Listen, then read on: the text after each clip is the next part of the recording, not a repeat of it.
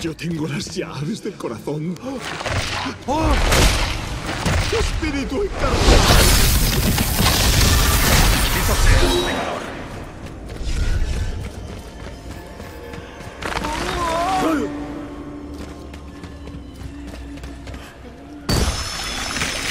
¿Seguro que estás preparado para lo que viene ahora?